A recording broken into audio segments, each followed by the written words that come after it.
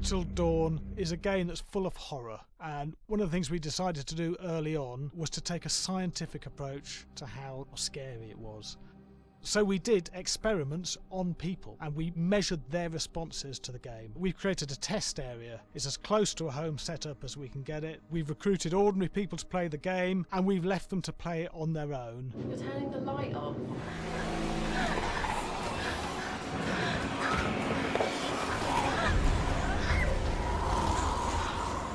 The only difference is it's rigged with cameras and microphones that relay the data through to the next room where people are watching them play.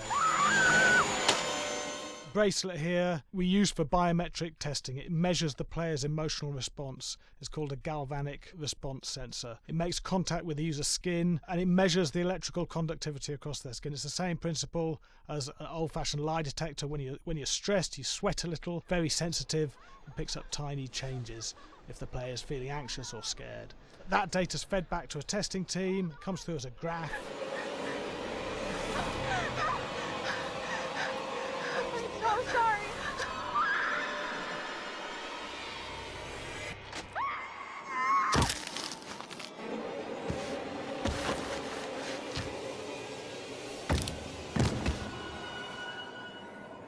There's no point testing one or two people, you have to test a lot of people. Watch your step. When we have a scare that's consistently has a measurable emotional response, then we knew it was good. If it didn't have that, it goes back to the team for improvement. The data doesn't tell us what's wrong with the scare, it only tells us if it's working or not. Wait, okay, so you hear that too, right?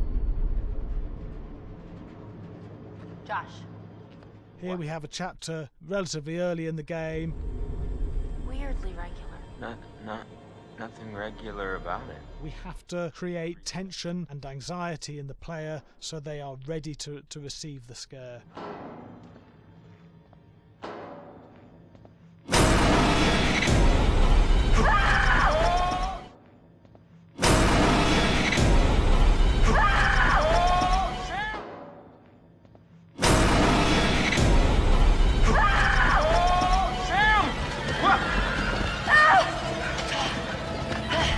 To give the player time to recover, to cool down, to calm down, and then start building the tension again bef- before we do the next scare.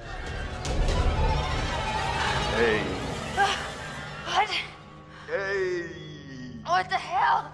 Ooh, you just got mucked. Uh-huh. Yeah, have such an adrenaline high from that game. There's two things we found. One, one is we could look at the scares, analyse if our expected scares were working effectively. Were people shrieking and covering their hands, or were they getting an emotional response from it? And being scientific about it means that we strip out people's opinions about whether things are working or not. We've got data, and we look at the data. If it's working, we're happy with it. Really scary. bit scared and wanting to get away. Um, I actually be maybe a bit scared to play on my own, but In a room with the lights on, yeah, with some other people as well, yeah, maybe. but because I'm a scaredy cat, I would play with someone in the room. and the lights on. It was one of the scariest games I've played in a long while.